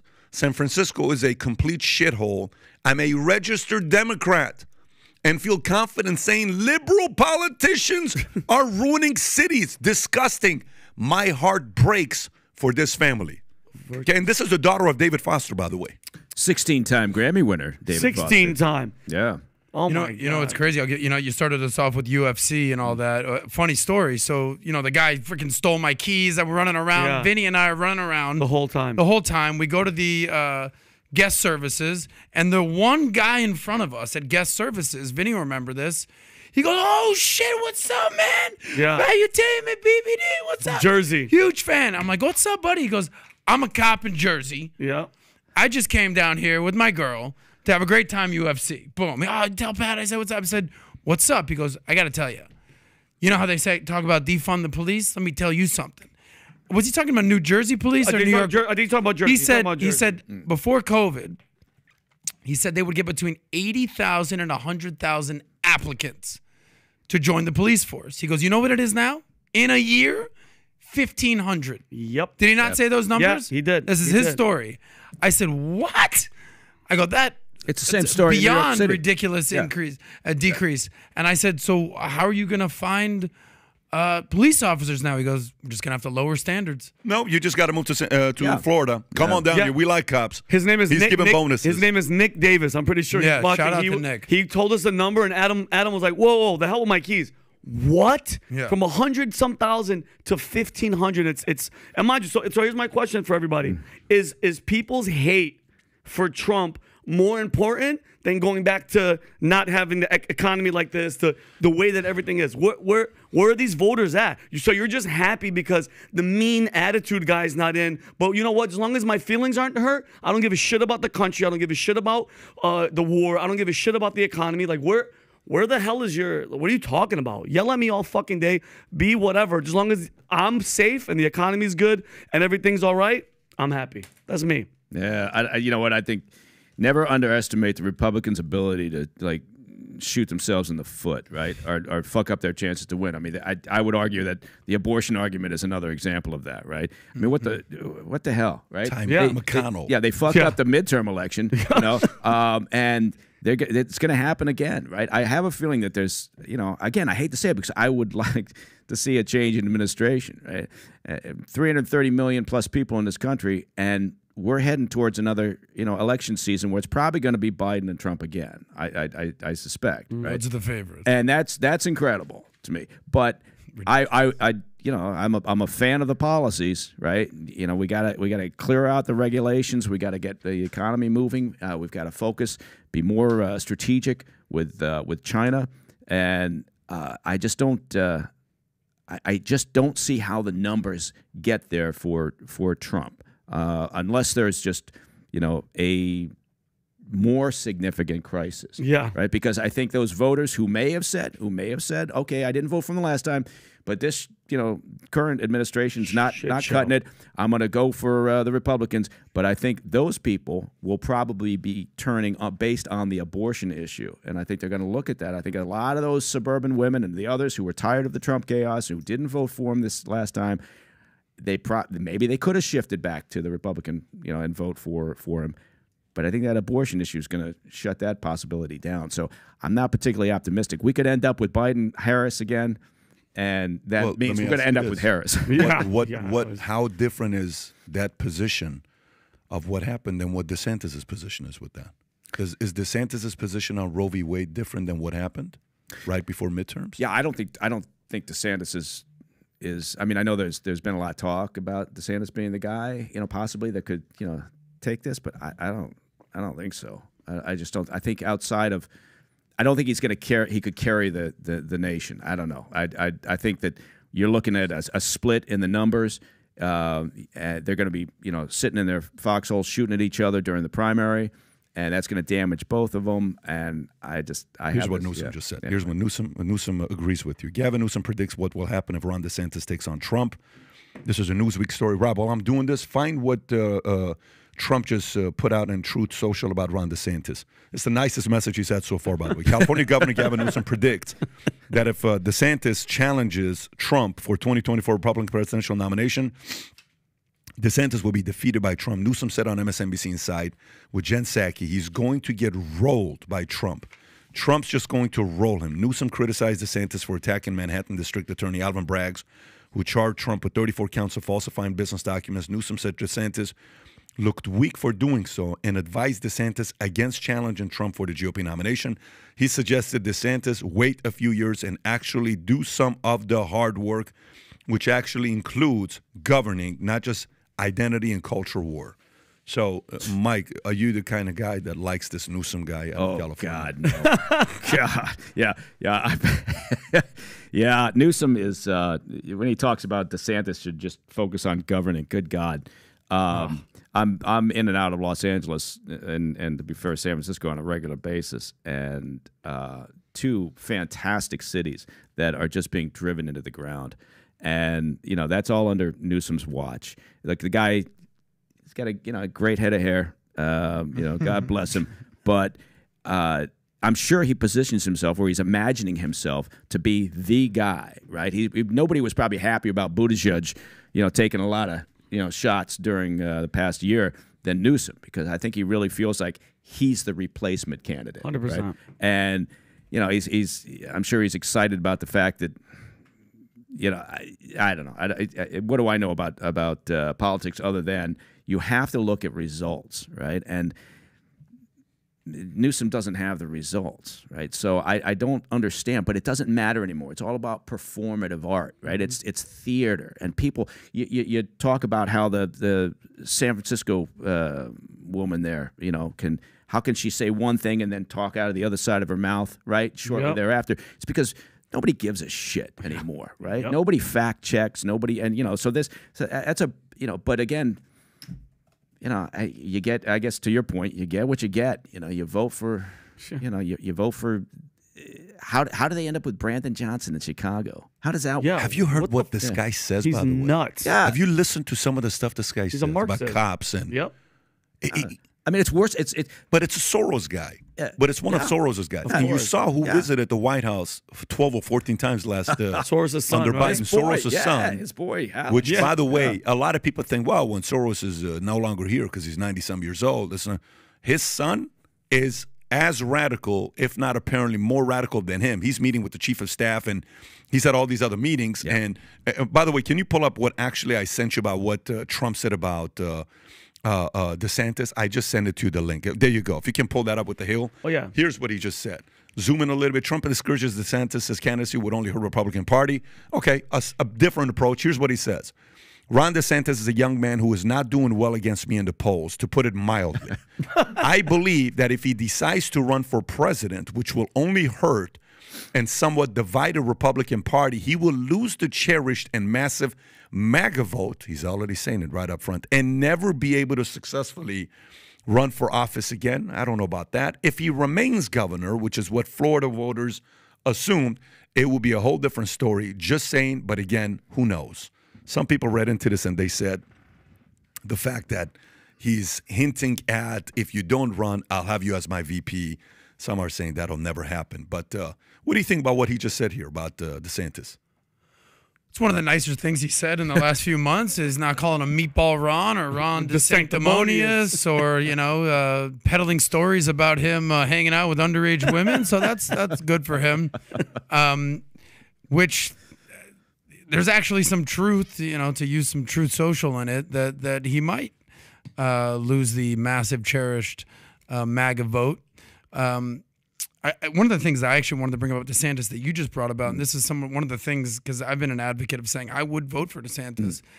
Have you heard about the fact that because you brought up abortions and how like that's going to potentially shoot uh, Republicans shoot themselves in the foot, especially to suburban women or just women across the country.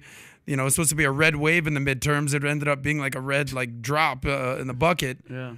Um, Florida, backed by DeSantis, is trying to pass a six-week abortion bill. Six weeks. Yeah. Have you heard about this? Pull this up. And I, apparently it, it was approved.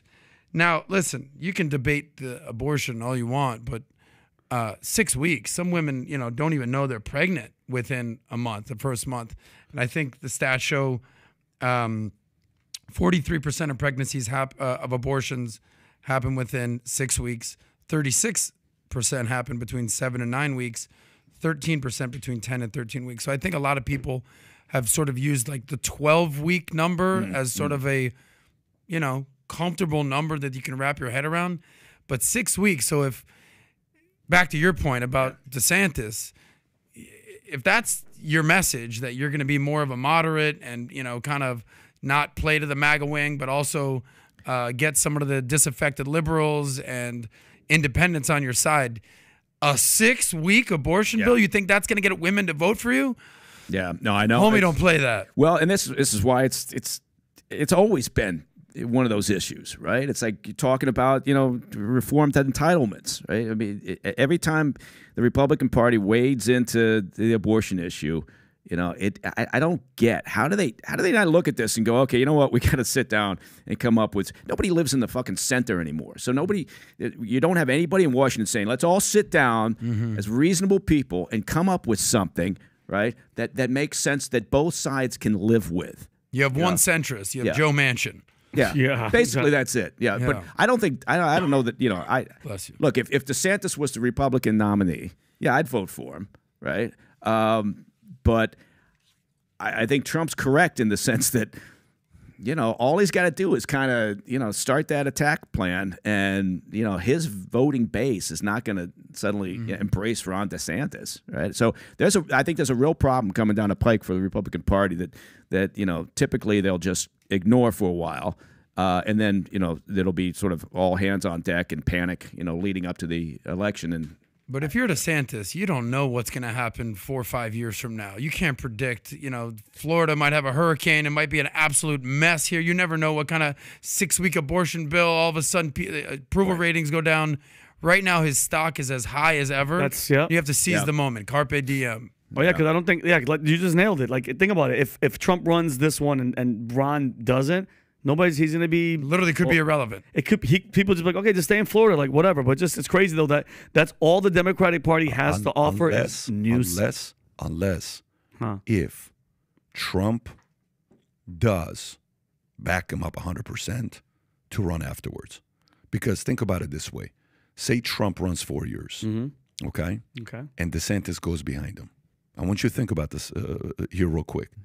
Say DeSantis says, All right, I'll get involved a little bit just to get a little bit of experience and I'll run.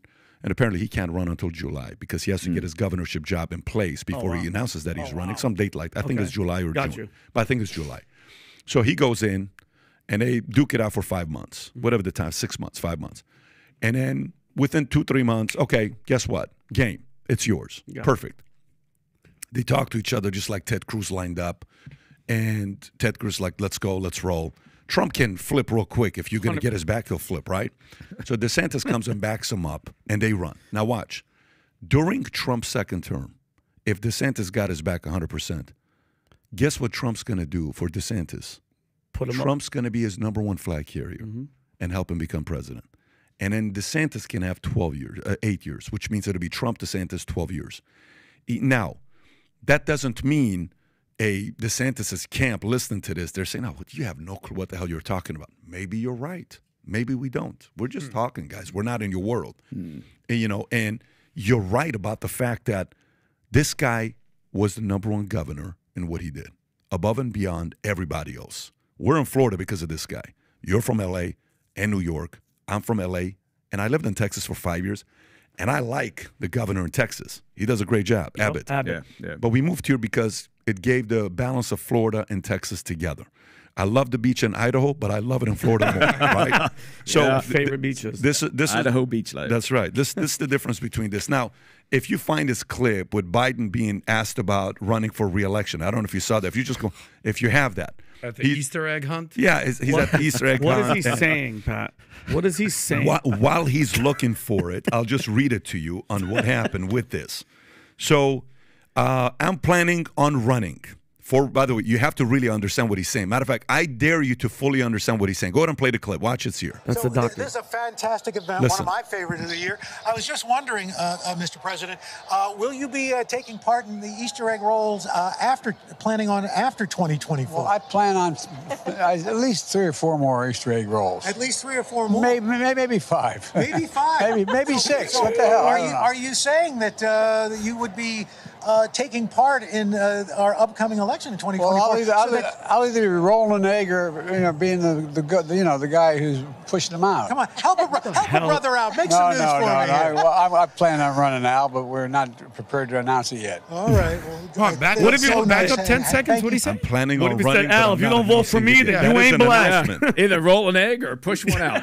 in uh, our upcoming election in 2024. Well, I'll either, So I'll, that- either, I'll either be rolling an egg or you know being the, the good- you know the guy who's pushing them out. Come on, help a, bro- help a brother This out. is the Make part right here. No, no, no. I, here. well, I, I plan on running Al, but we're not prepared to announce it yet. Just I'm announced- planning on running, Al, but so we're not nice prepared to having announce I was waiting for. Yeah, I was that's waiting. it. Rob, I was waiting for him to go. And Al, if you don't vote for me, you ain't black. I was waiting for that to come out because he's he loves saying. Well, that's shit the like that. announcement. He It's not the said it. official announcement, He but just said it without saying it with an egg coming out, whatever the hell that. Yeah, means. how's he pushing that egg out? that's uh, that's or roll an egg. Roll, roll an But egg. you know, I just wish we had one honest, Well, one at- honest at least, interviewer. at least he- if he's he, maybe he identifies as a chicken. you, There's I nothing mean, wrong with that. there's man. nothing wrong with Maybe that, Pat. Yeah. I'm not. I'm not. But I just It's wish what it is. one time one person interviewing just stops and goes like this: "Hey, uh, I'm sorry, Mr. President.